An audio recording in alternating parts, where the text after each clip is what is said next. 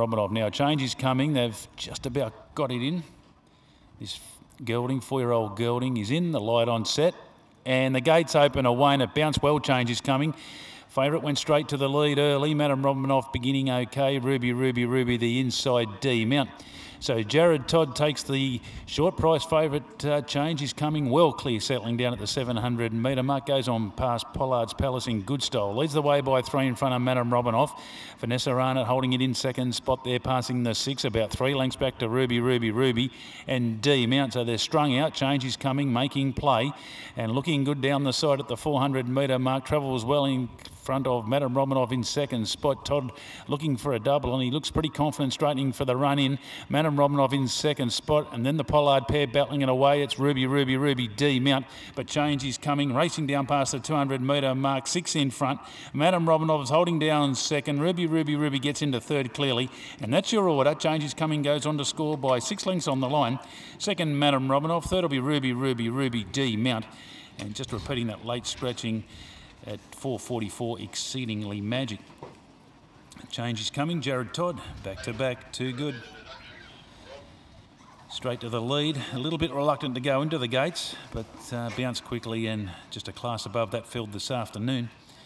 Madam Romanov has held down second in front of Ruby, Ruby, Ruby, just the field of four in the end and D mount. So we're waiting for these interim numbers to be posted.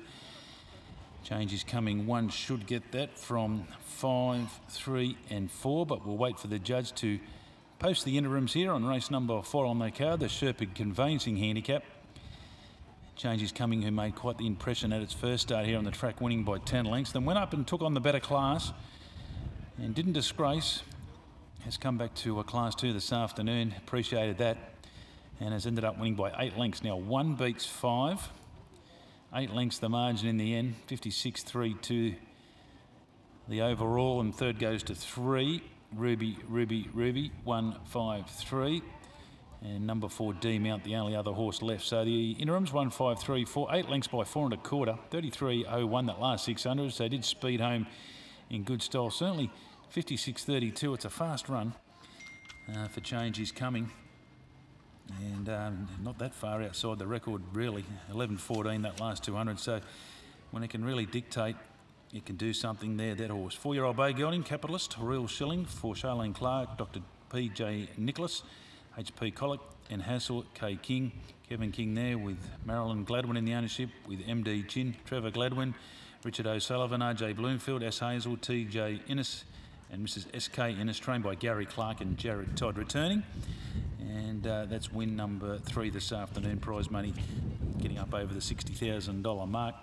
Second to five, Madame Romanov, a four-year-old brown mare, Russian Revolution, the King's Widow for Tayan Holder, Vanessa Arnott.